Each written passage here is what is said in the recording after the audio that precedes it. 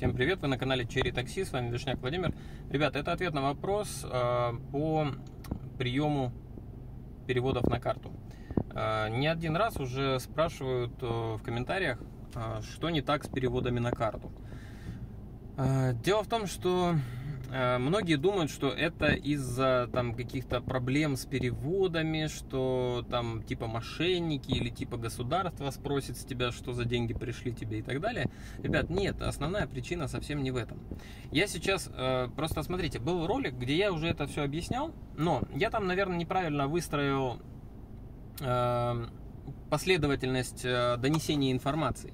Вот. И многие обращали внимание на первые доводы, и потом не обращали внимания на самый главный, который в конце. Вот, поэтому начну сейчас с конца, с самого важного довода, почему я не принимаю переводы на карту.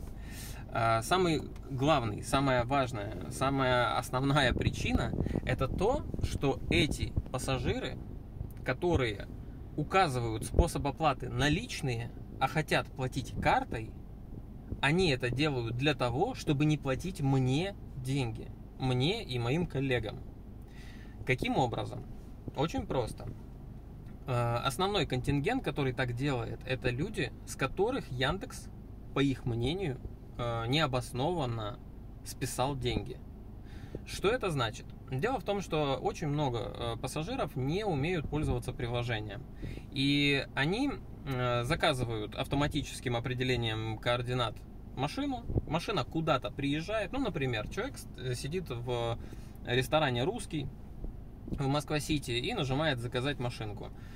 И так как э, рядом высокие здания, так как он находится внутри помещения, а над ним нету GPS-спутников, которые определяют его местоположение, то его положение определяется очень косвенно. Мало того, GPS-сигнал отражается от э, высоких конструкций, высоких зданий, огромного количества металла, бетона и так далее.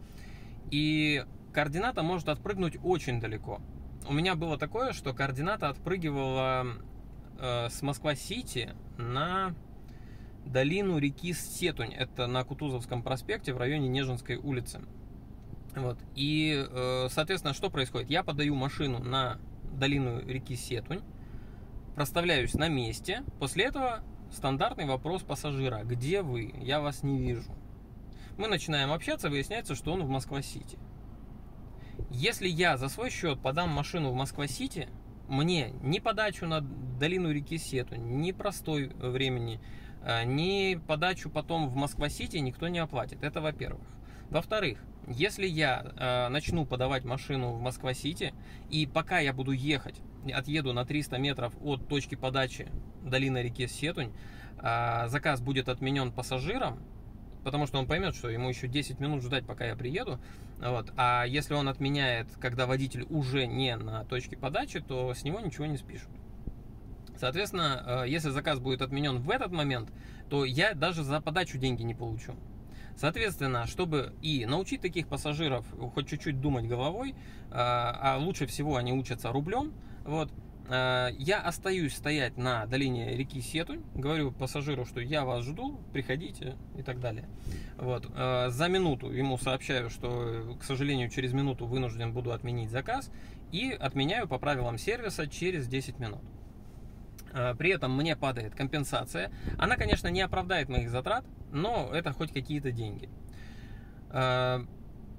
Что делает при этом пассажир? Он понимает, что он сидел в ресторане, заказал машину. Водитель не приехал. Он получил сообщение, что водитель на месте. Он вышел из ресторана, водителя нету. Он попытался ему объяснить, где он находится, и сказать, что нет, он, ты, друг, все-таки приедь сюда. Я тут в Москва-Сити. А тот не приехал. И при этом с пассажира списали деньги. Да, если он э, обратится в Яндекс, возможно, в каких-то ситуациях ему деньги вернут. Это понятно. Но э, в каких-то не вернут, потому что Яндекс видит, где пассажир по GPS-координатам, видит, где водитель по GPS-координатам, видит, где точка А по GPS-координатам и понимает, что водитель сделал все правильно, а вернуть деньги пассажиру или нет, Яндекс уже сам решит. Так вот, э, Яндекс спишет с пассажира деньги, и пассажир такой, ну, что за фигня? Я тут весь такой правильный привязал карту. э, согласен платить э, по безналу, мне услугу не оказали, а деньги с меня списали. Все, я больше карту не привязываю, отвязывает карту и говорит способ оплаты наличные. В следующий раз, точно так же, сидя в ресторане, э, он заказывает машину, опять не туда, водитель приехал, там что-то нажал, проставился, отменил, и с него ничего не списали. Почему? Потому что наличка.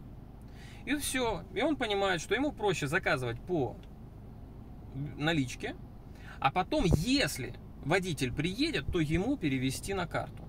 То есть, таким образом, этот э, пассажир неоднократно кидает на бабки всех водителей, которые э, выполняют стандарты сервиса и э, при этом платит только тем, которым повезло что он более-менее правильно оформил заказ, либо они пошли ему навстречу, рискнули и приехали туда, где он. Ну, мало ли, может, это не 10 километров, там, а 500 метров.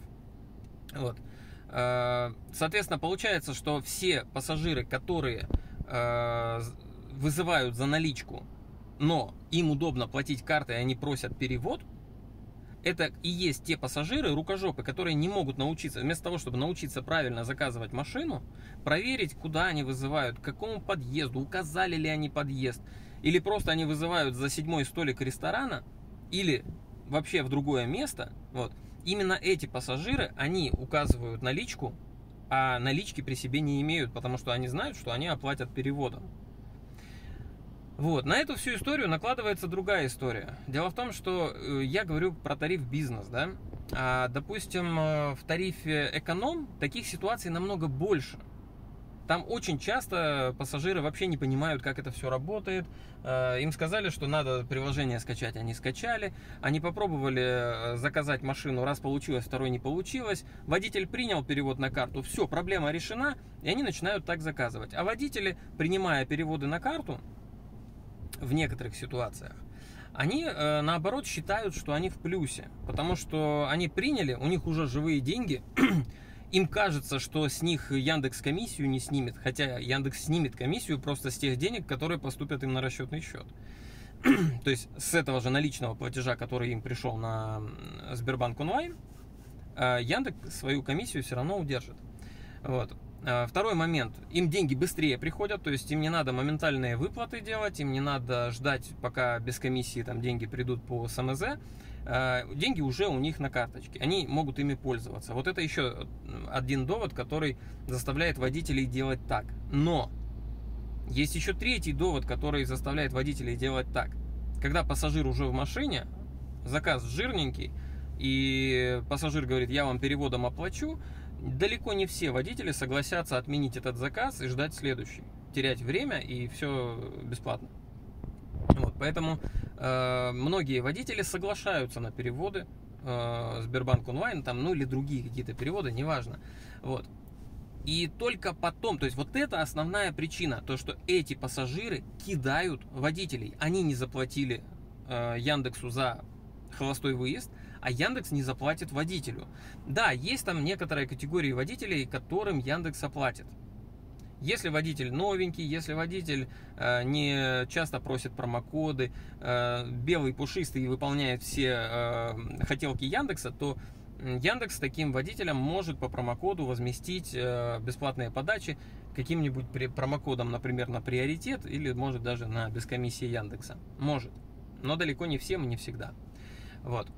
Так вот, вот это все и есть основная причина. Есть еще куча других причин, таких как э, в момент перевода возможны э, конфликты в плане, на какую карту вам перевести. Вы такой, мне на Сбербанк, э, пассажир, а у меня там Альфа-банк, мне с комиссией. Я вам переведу, но за вычетом комиссии. То есть он не доплачивает, потому что, видите ли, у водителя карта не того банка. А, кто-то э, начинает переводить, э, делает вид, что переводит вот эти вот скриншоты, но вот эти все причины это уже мелочи, это шарлатанство, дебилизм, э, ну то есть неадекватность некоторых пассажиров, она составляет там 1-2% от всей массы. А основная это только то, что эти пассажиры не оплачивают подачи другим водителям. Мне в другое время, либо другим водителям сейчас по всей Москве э, повсеместно. Вот это основная причина. Надеюсь, объясню. Если нет, задавайте вопросы. Всем пока.